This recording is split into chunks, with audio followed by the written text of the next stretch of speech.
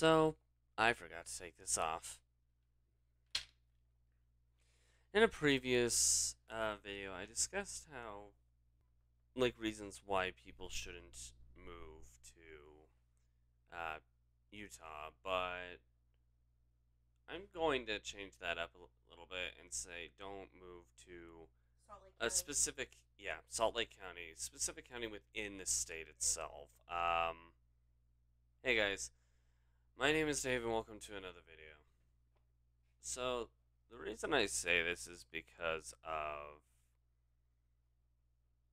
certain aspects. It's, first of all, if you look online, you'll see that people have a tendency to give up. Like it says that the air quality here is great. It's in the green, blah blah blah. But yeah, uh, yeah, it's it's not. It's It's. killing my mother. Should I have you do this instead? Sure. No. Oh goodness. But yeah, it's because of a lot of forest fires that have been happening recently in California. That's the end result spreads and ends up over here, uh, which means the air, pol- air the air, air quality here is getting and that's just not in this particular in that particular county, Salt Lake County. It's any of them. Um, that's like one thing, though. I guess there is one factor that's kind of a little bit, a lot of it, more problematic than that. And as much as I love the idea uh, protection that's provided from these individuals when done properly, the police officers in Salt Lake County have a tendency to Get very bored. get very selective and just do whatever just for the sake of meeting quotas and just because they're bored. I mean, for heaven's sake.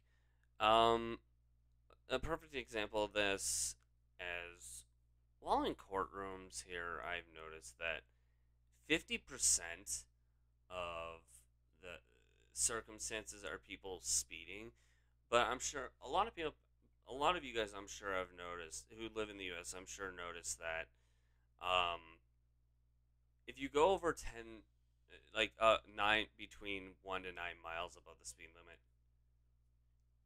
you're off scotch free, no one seems to care. Not if you live in that county. Apparently if you live there, you even go 1 mile over and you're screwed. Yeah. It's it's kind of dumb. I mean, it it's to the point where I start to feel like now.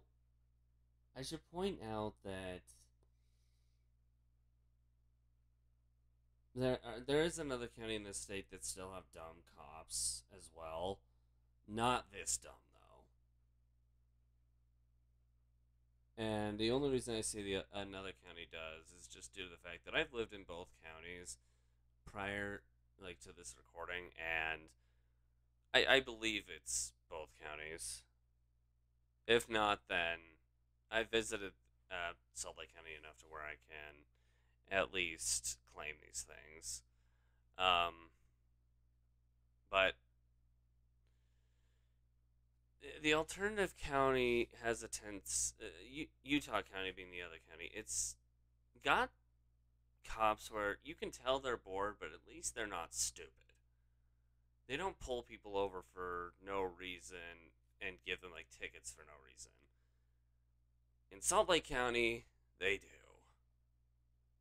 And meaning basically if you're planning on moving to Utah, don't drive do not drive. Make sure you live close to where you work and do not drive. Use Instacart for food, like for groceries, for items, Amazon for different like items if you need to get something that's not groceries. Um, if you need to go long distances, At that point, sure, drive. Just make sure you avoid. Look up the different paths that don't do you justice and go down the other paths. Because one comparison so Pink Fox and I were sitting in a courtroom at a point a while back. This was actually a ways ago. Um, I actually can't even remember the reason it was for. I think it was just to watch because of boredom.